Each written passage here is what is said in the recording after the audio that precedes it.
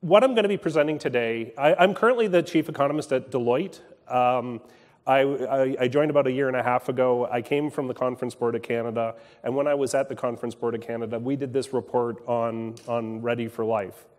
Um, so our, our, our economists uh, and our policy researchers worked on, worked on this report, and that's where this material is coming from.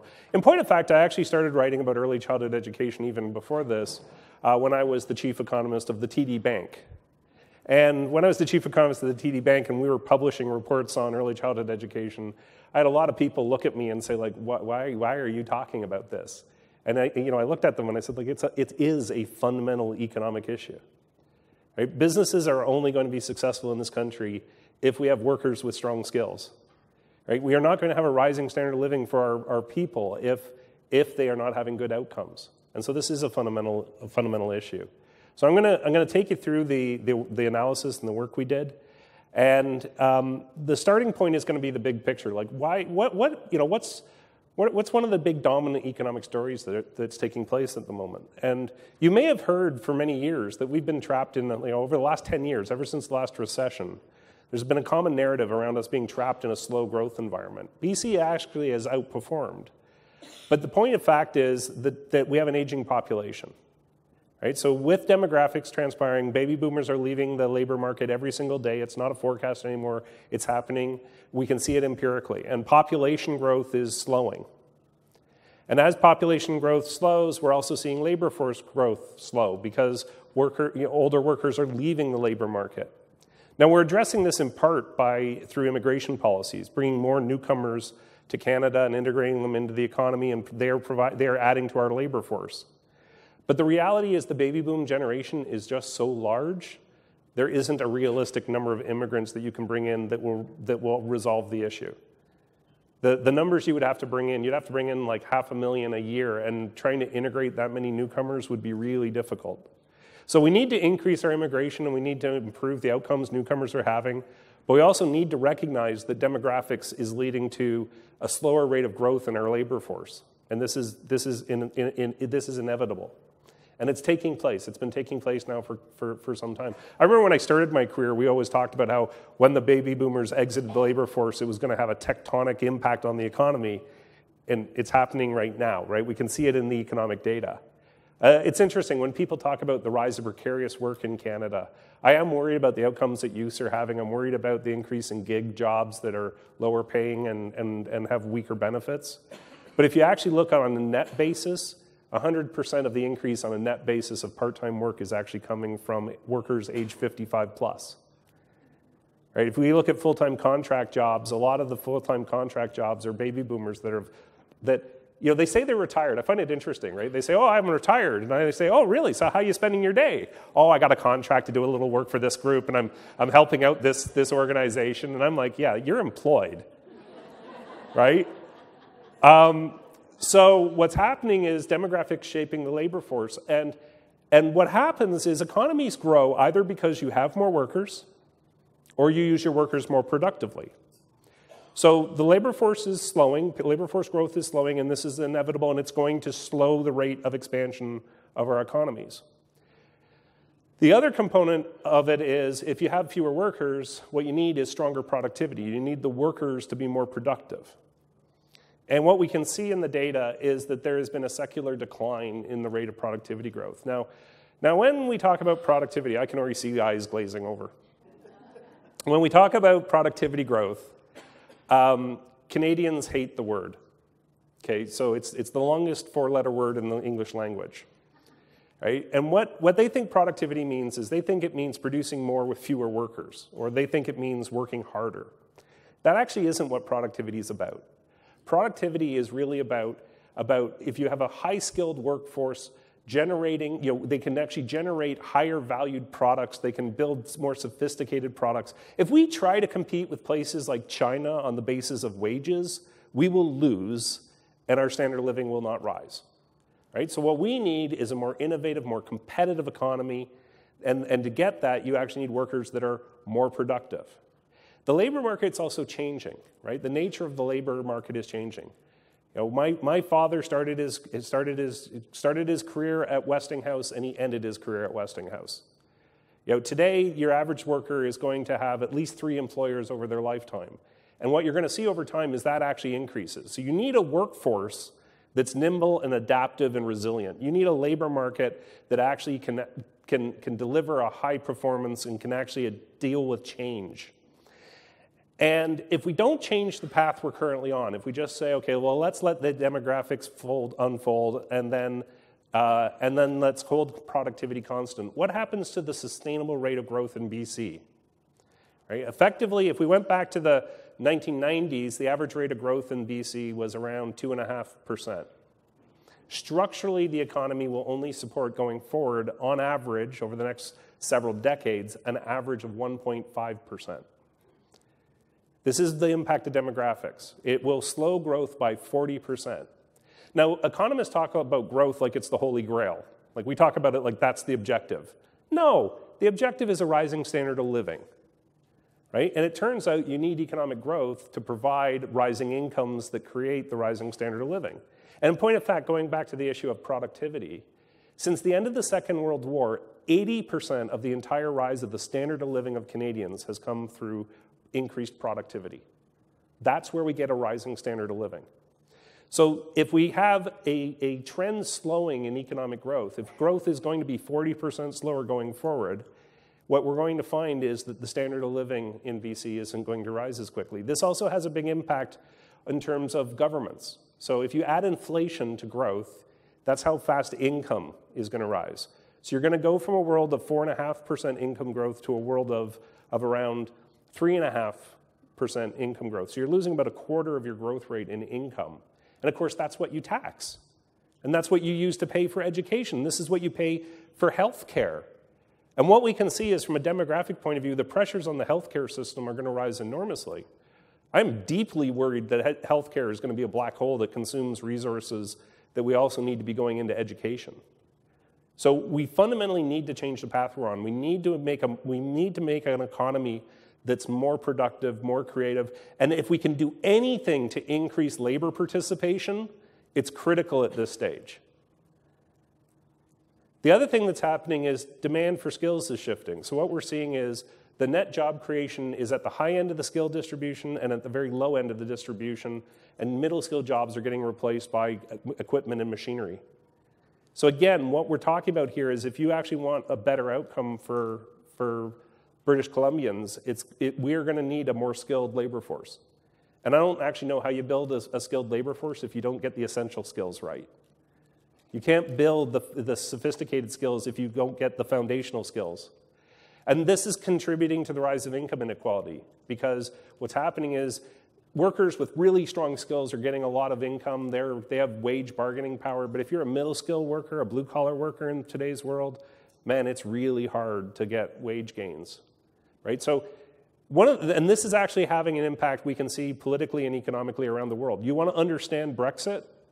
It's because people in the UK didn't feel like they were getting ahead. You want to understand the rise of Trump and extreme policies that we're getting in the United States? In a lot of cases, it was Americans voting for change because they felt like the system wasn't working for them. I don't want to see a Canada where Canadians don't feel like they're getting ahead because it could lead to political, political outcomes that we as a society really do not want. So this is very foundational, and it's, it, this, is, you know, this is why rising income inequality is one of, one of the big concerns that are out there. And if we look at Canada, we're, we're sort of middle of the pack when it comes to income inequality, um, which means we need to constantly be ensuring that we, we aren't going to rise higher up the scales. And BC income inequality is actually a little higher than that in the, on average in, in Canada. So the, these are big fundamental issues. And why do we care about income inequality? Like, why do we actually care about it? I'll tell you as an economist, you need some. You know, that sounds a little strange, but if you, if you don't pay me to work harder, if you don't pay me to go get new skills, if you don't pay me to, to take risks, I'm not going to do it. Right? So you need some in, income inequality to actually be, you know, higher, the, the opportunity of higher income can be a very powerful motivator and incenter. But like most things in life, it gets too high, it can be very corrosive right? So rising, higher income inequality can materially harm your economy and your society. And what this slide shows, which is a little hard to get your head around, If, on, if you're higher up on the scale, it's, it's if you are born into a high income family, what's the odds of you staying in a high income family? Right? And so, and then along the bottom is income inequality. And what you can see is that societies that have higher income inequality tend to also have lower social mobility, the ability to move up the income ladder. And so the, the United States is the poster child for this. And I think America, income inequality has now reached levels that are materially harming their economy. If you are born into a low income family, the odds of you getting up the income scale is extremely low. You're probably going to get a poor education. You're not going to be able to, to climb. And if you're born into a rich family, your parents are going to ensure that you stay in that category. Just to give you an idea of how bad it is in terms of the United States right now, if America stays on the path they're on with rising income inequality at the, the recent, the recent rate, uh, you should never straight line forecast, but I don't think President Trump's policies are actually going to reduce income inequality. In eight years' time, America will have the income inequality, and sorry, the, in eight years' time, America will have the social mobility of Victorian England.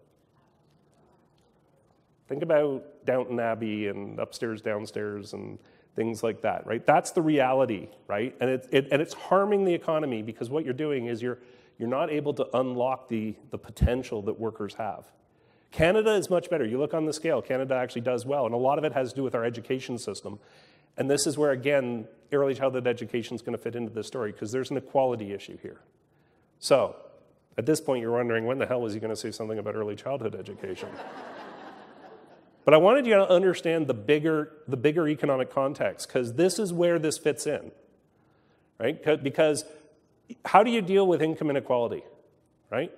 The natural tendency is to do it through the tax system. Right? If you, if, if you think about the dialogue about the 1% versus the 99, boy, it sounds like a simple solution. Just take money away from the 1% and give it to the 99. Well, here's the problem. I, I strongly believe in a progressive tax system, and it's an important part of our, of our, of our socioeconomic framework. But here's the thing we measure income inequality based on something called the Gini coefficient. And if I take Right now, the, the top marginal tax rate in Canada is 52%. If I take it up to 90%, I take 90% of the income away from the 1%, I give it to the rest, the Gini coefficient barely, barely declines. And if you think about it from a math point of view, that had to be the case because they're only the 1%. If you give it, give their money to the other 99% as you spread it across the entire income distribution, you actually do not materially improve income inequality. So a progressive tax system is a good part of the problem, part of the solution, but it's not going to do it alone. So how, how do you deal with this in the most constructive way possible? And the answer is breaking down barriers to opportunity. Right? And this is again where I think early childhood education fits into this narrative. Right? Because what you, you know, when we look at you know which kids benefit the most from early childhood education, right? It's kids coming from disadvantaged backgrounds, right? So it's a fundamental part of, it's one more, one, one contributing factor that can reduce income inequality. So the work we've done, you know, shows a lot of things the minister already said, right? That, that, that when you invest in affordable, high quality early childhood education, it creates benefits to, to labor, it increases labor participation amongst women, it improves outcomes that kids are having. It, you know, their cognitive skills start developing a lot sooner than we, than, than we thought decades ago. They have the capability of learning and going up the skills distribution earlier. They are, more, they are better school ready. Um, scholastically, there's an issue that, that, that kids that have, have had a good um, early childhood education are, are better positioned when they start the education system, that the other kids catch up. You know, but here's the thing it, there's a cost associated with having those other kids catch up. Right? So, uh, uh, any sort of special ed programs and things like that, I, I will tell you from an economic point of view, it has to be the case that it's cheaper to deal with problems before they start or ensure they don't start or to remediate them earlier than try to remediate them later. Right?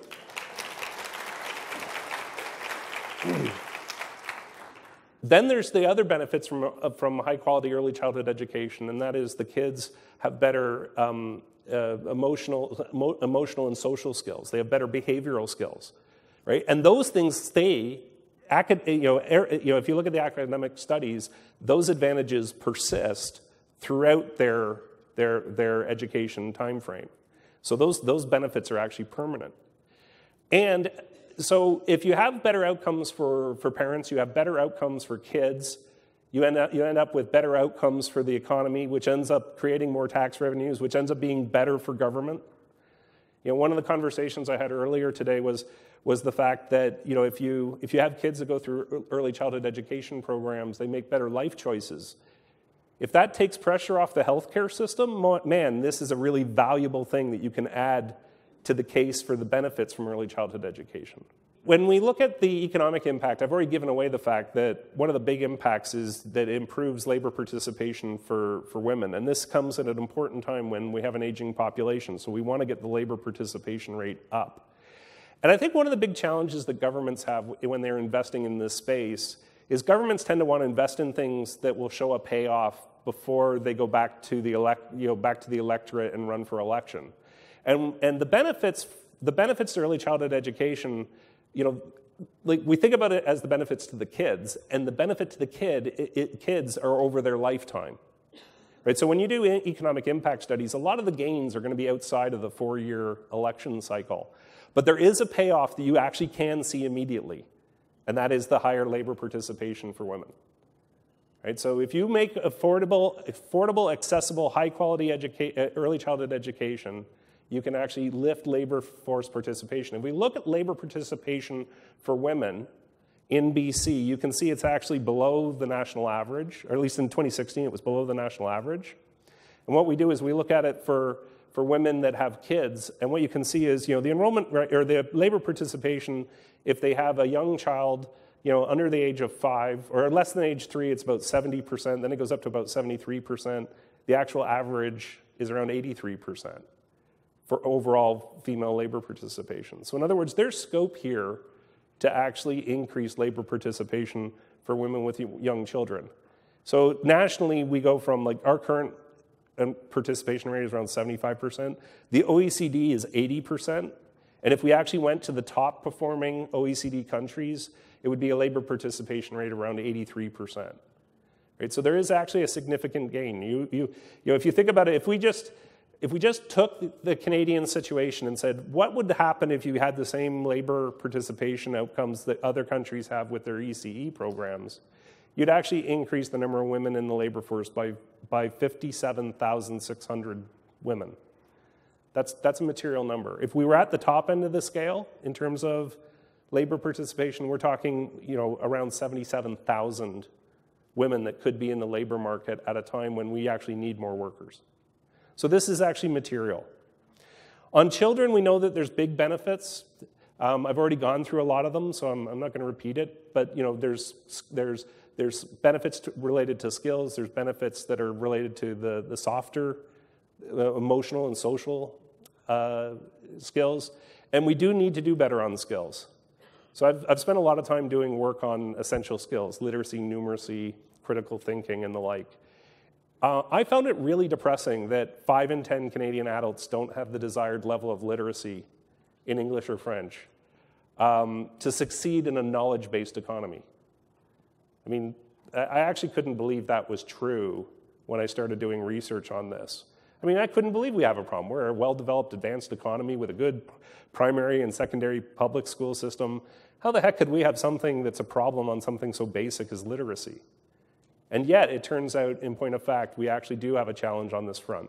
And part of the issue is it's a conception issue, right? So a lot of people think that literacy is a binary outcome. You're either literate or you're not, and that's not true. It's like any other skill set, right? It's like playing a piano, right? I can't play at all, so I have zero literacy when it comes to pianos, right? But some people can play a little bit, some people can play a song, you know, some people are competent, and then you have masters. And literacy is the same thing. So we actually have a situation where 5 in 10 Canadian adults don't have the desired level of literacy to succeed in knowledge based economy. 6 in 10 don't have the desired level of numeracy. Um, if you look at it provincially, uh, what you can see is that BC actually is above average in terms of, actually, BC is above average on education outcomes in, ter- in terms of most of the stats, but we still could be doing better. Right? We still could be re- improving. And if we look at the, for kids and we look at the PISA scores, again, BC does quite well, but if we actually look at it um, overall, what you're looking at, if I, if I take the results of PISA and I say, what's the equivalent for kids on the, the literacy metrics, it's basically about four in 10 kids are not getting the literacy that they need to succeed in a knowledge based economy. Right? 40%. That's, that's an unacceptable number. Right? So we need to do better. And I'll, I'll be honest, like as an employer, I will tell you that of all the economists that actually haven't worked out that I've employed, almost none of them have been because they've been a bad economist. Almost all of the times I've had workers that haven't worked out, it's because they didn't have the communication skills that I needed. They didn't actually have the literacy and, and, and they're really strong mathematically because that's the nature of economics, but a lot of them can't write. Right? It's really depressing. So we actually need to do a better job on our skills development.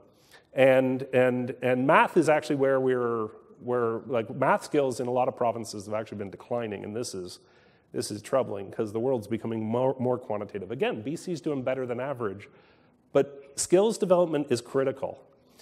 If we look at you know, enrollment you know, in early childhood education, uh, what you can see is Canada's overall enrollment is below the OECD average. Uh, the BC enrollment rate, the last number I was given was around 25%. We, we need to raise that. So I'm really encouraged by the minister's comments around expanding, expanding the, the enrollment uh, or enrollment opportunities. The other thing we found in our research is that the economic impact, the payoff in terms of skills and the, the benefits to the kids increase with duration of early childhood education.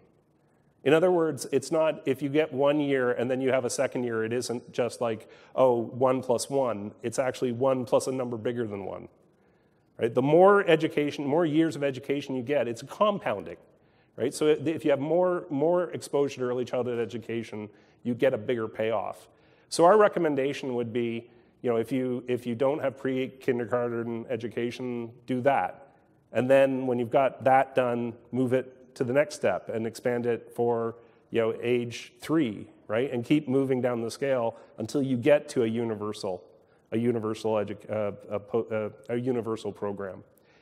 If we wanted to raise, just in terms of numbers, like if we wanted Canada to have OECD average outcomes, for enrollment, we'd actually increase the number of kids in ECE by 134,000.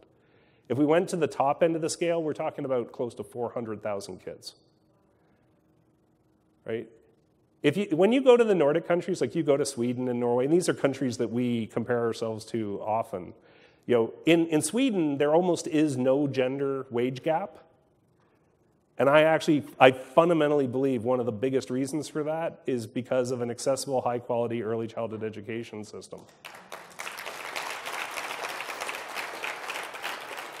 So there's a, there's, you know, we're talking about, you know, incrementally and over time. The big problem for governments is that these sort of programs are really expensive, right? So I don't think it's realistic to just go and ask a jurisdiction to please create a universal system immediately because the reality is it would be too expensive. So you have to actually be realistic and fit it into your fiscal constraints. But what you need to do is move the ball steadily down the field to get to where you want to be, right? So I, I think of it like playing a football game and going at like 10 yards at a time. Move the ball down the field, okay? Move it a little farther, and eventually you'll get to, you'll get to the goal. The kids that get the biggest benefit are the kids that come from disadvantaged backgrounds, but the one thing I would stress to you is you do not want the classrooms to only be filled with kids from disadvantaged backgrounds. The, the academic research on this is really compelling that what you actually want is you want mixed classes. And, and, and the kids from the disadvantaged background, in a sense, get pulled up by the kids that, that, that have had more advantages. So you really want it to be an inclusive an inclusive system. Um, no, con- no conversation around education uh, should overlook the challenges that the Indigenous people have been having and the outcomes they're having and how unacceptable they are. And in, rea- in reality, from a, from a skills and, and uh, from a skills development side of things, it's important to include, like this, this process has to be inclusive. And I would stress actually, when we think about an aging population, Who has the fastest growing population in Canada? What segment? The Indigenous people.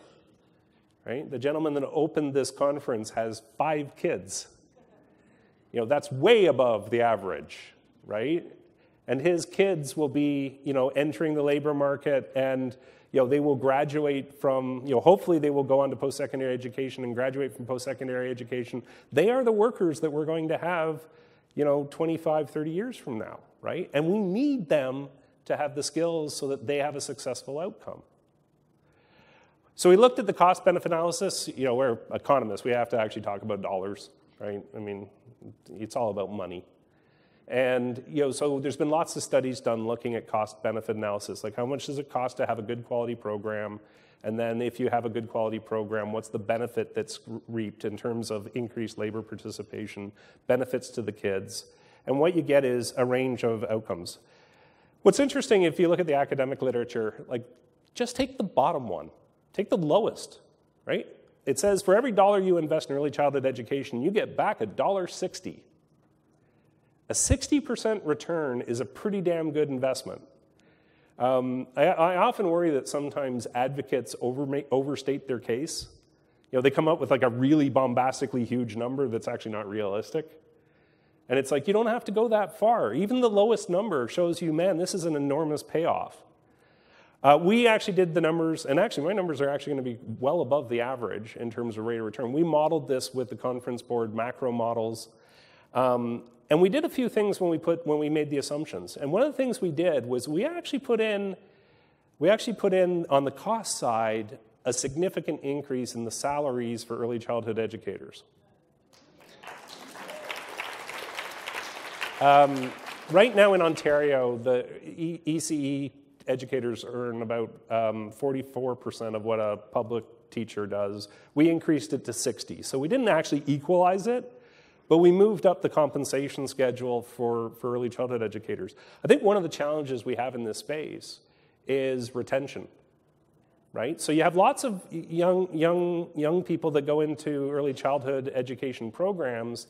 They graduate, they really are passionate about it, they want to teach kids, they want to help develop children, and then they do it for a couple of years, and then they fa- find out that from a family point of view, they need more money and then they rotate out. They're still passionate about doing the work, but they don't stay in the occupation. Well, here's the thing the sweet spot for me when I recruit people is I want, you know, when they, when they get five to six years of experience, man, they are great employees.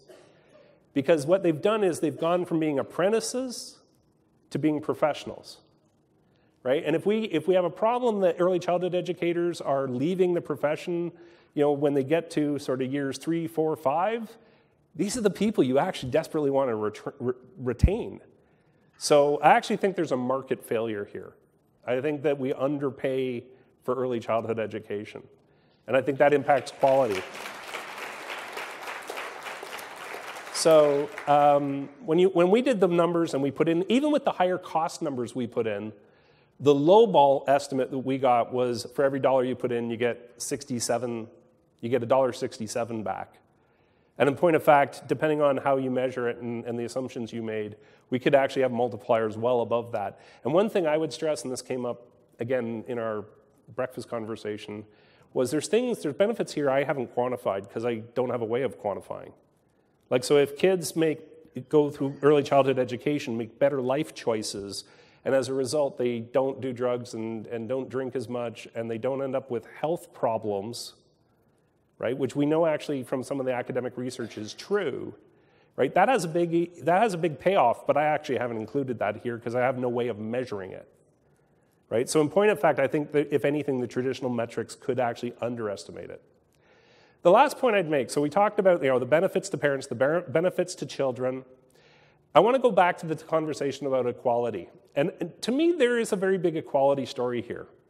So let's imagine Let's imagine I, um, I wrote a research paper that said, uh, having looked at the BC education system, I have concluded that private, that, that, that all of the primary education, sort of grades one to say five, grades one to five should all be delivered from private schools. And we should let parents pay you know, parents will pay for primary education, and parents that have lots of money can pay for better programs. And you know, kids from disadvantaged backgrounds, you know, they, they can they can get a, an, a, a primary education, but it's going to be delivered, you know, in a very poor way because they're they're going to get what they can afford. How do you think people in BC would feel about that? Right? Now, what we have is a current system where you get maternity leave benefits. So you have a child, and the government provides you with support for 12 to 18 months. And then you're left to your own devices until kindergarten, and the kids are going into kindergarten at age five. So between 18 months and age five, we have a situation where the kids get whatever the parents can afford. Why is that acceptable? Like, why, why is it that we think that inequality is okay? Right? And I would stress that throughout all of this, I'm not, I, I, I, I'm talking about early childhood education, and I'm being very precise on my words. I'm talking about it as being education. We know brain development happens very early in life. We know a lot of formative brain development happens very early. We know that kids can actually develop skills and be developed er- early in their lives before they enter the public school system. So, in my mind, it's all one giant con- con- uh, continuum. Right? In my mind, it's you know you have a child, and now you're having child development and education, and that starts immediately and it continues all the way through. So I have no idea why the historical artifact that you know we do kindergarten at age five but we have this inequality part of this segment. I don't actually understand why, why Canadians actually think that's acceptable. One thing I found quite shocking when I did this sort of research was, um, you know, when I did my first report at TD, and I went to the bank and said, hey, I'm going to do a report on early childhood education. They said, oh, that's great. Because who's going to be against early childhood education? So over my career, I have done research on, I've done research on uh, putting a price on carbon. I've done research on building pipelines. I've done research on healthcare reform. You know what topic I actually got the most pushback and blowback on when I put out research? It's actually this topic. It's actually early childhood education. It, and, and it astonished me. Like, I, I just, I, I, as God is my witness, I didn't see it coming right? But there's a lot of people that, that, that are not supportive in terms of this is where they want their tax dollars to go. And I think that there's a misunderstanding about what we're talking about. And fundamentally, I think the disconnect is the people that are not strong advocates view it as daycare. like they, it's, it's, it's babysitting. That's what they think, right? They, they, they think that what we're really talking about is babysitting and that is not what I am talking about. What I am talking about is early childhood education programs where you have a well developed cur- curriculum deliv- delivered by a trained educator so that the time the child is spending, the child is actually learning and developing. And that is what we are talking about. And I think a lot of the opposition or lack of support comes from people that actually don't view it as, as part of the education system. And that's actually what we need to overcome. I had a funny experience where I was invited by CBC to do an interview, a radio interview on my report, and I'm like, sure. And they're like, come into the studio, the sound will be better. And I'm like, okay. And then I showed up, and it was a call in show. If I'd known that, I never would have done it. Um, and so you had these people phoning in, and they were, you know, I had people that were upset, that were, that, that didn't agree with me, and they, they wanted to voice their concerns. And my all time favorite one was a gentleman that called up and said he, he didn't want his, doll, his tax dollars going to this because he went past one of these daycare facilities and he looked in the window and you know what those kids were doing? They were playing.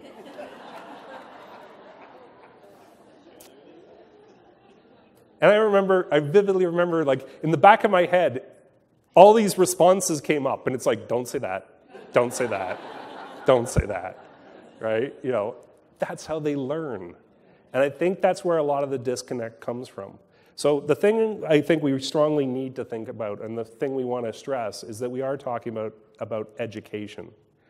And, and it can help us to address socioeconomic issues. So when we did the math on this and we looked at what the impact would be, you know, the, the, the, the share of census families that have kids in the age zero to four, you're talking about 0.5% of all, of all, of all households.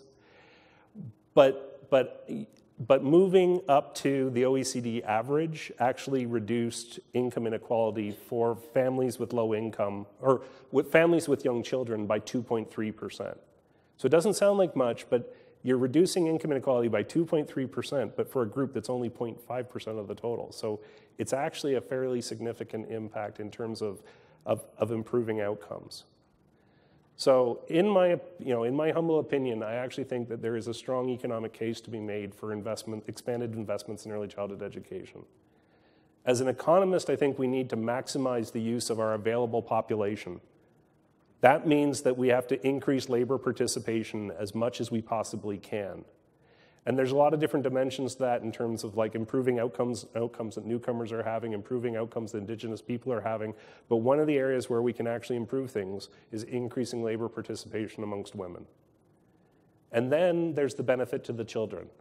And I think that the competition in the world economy is only going to get stronger. I think the labor market's going to be, continue to become more, more dominated by contract, gig type work. I think the structure of the labor market's changing, and we need resilient workers with strong skills. And I actually think we need to start building those skills right after birth. And I think ultimately, if you do that, you're going to have a big payoff to the economy, and I think you're going to have a big payoff to government. And so I actually think that we need more advocates, not just from the public sector, but we need more advocates for this in the private sector as well. And that's, that's part of the, the case.